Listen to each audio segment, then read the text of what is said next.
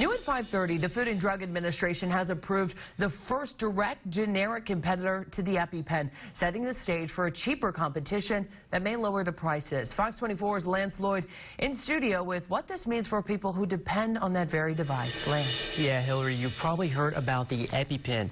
Many can't leave the house without it, and a pair of these can run, run you up to $600. But experts say with more competition soon to be on the market, those prices could change really know what's going to happen. The fear for many people who live with severe allergies, causing them to carry an injectable epinephrine device.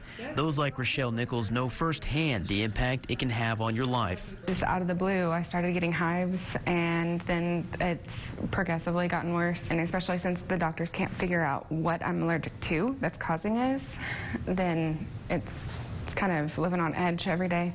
But for Nichols, even after the help of insurance and an EpiPen coupon, paying for the device was the biggest hurdle. I still had to pay $310 myself.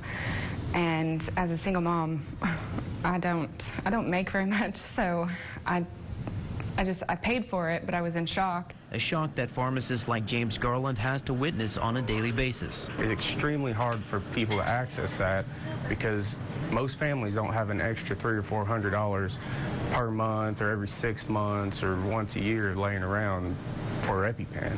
And with the emergence of companies like Teva getting FDA approval to make a similar device, medical professionals say more competition could ease patients' pocketbooks.